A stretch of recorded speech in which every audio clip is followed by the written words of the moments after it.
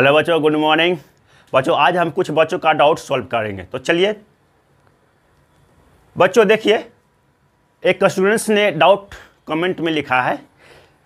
तो उसके डाउट को हम सॉल्व करते हैं। और क्वेश्चन है if the sum of zero of three x square minus k x plus six is three then find the value of k बच्चों, यह एक क्वाड्रेटिक पोलिनोमियल है और इसमें सम ऑफ़ जीरोज दिया हुआ है दैट इज़ थ्री हमें इस क्वेश्चन में वैल्यू ऑफ़ के निकालना है। तो बच्चों चलिए देखते हैं कि वैल्यू ऑफ़ के क्या होगा।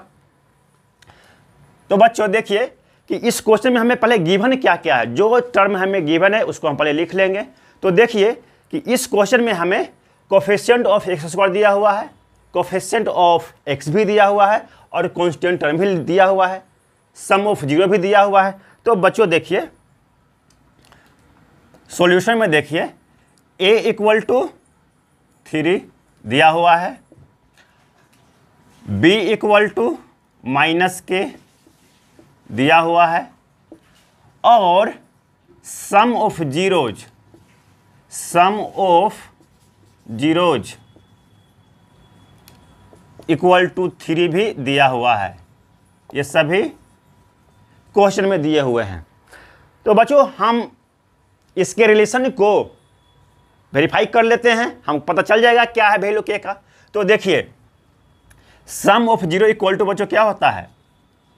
Alpha plus beta equal to minus under bracket coefficient of x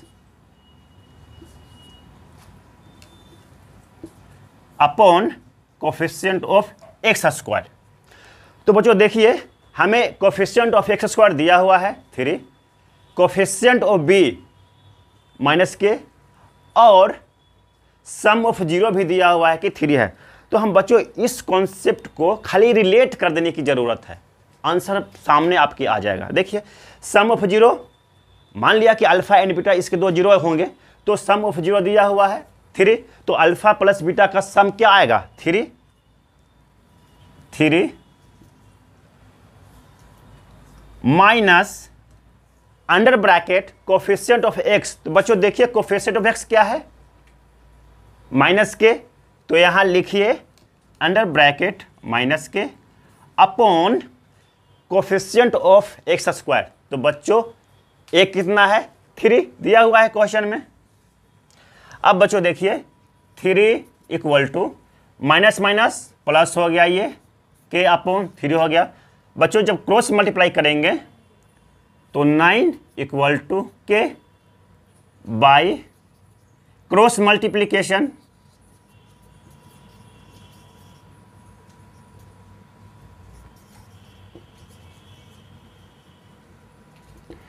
बच्चों, जब हमने क्रॉस मल्टीप्लीकेशन किया तो पाया के इक्वल टू नाइन है। So the value of k is nine. बस बच्चों, यही आपका आंसर है।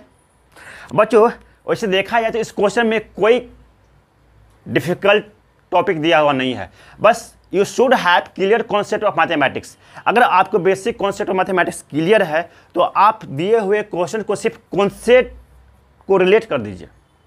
जब आप कॉन्सेप्ट को रिलेट कर देंगे तो आपका क्वेश्चन ऑटोमेटिकली सोल्व हो जाएगा। और वही हमने यहाँ पर किया। ए दिया हुआ है, बी दिया हुआ है सम ऑफ़ ज़ीरो भी दिया हुआ है।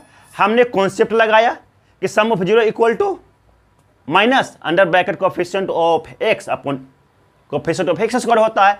और हमने उसके वैल्यू को सब्सटीट्यूट कर दिया सोल्व किया तो आया k equal to nine this is your answer बच्चों, उम्मीद करता हूँ कि ये डाउट आपका क्लियर हो गया होगा।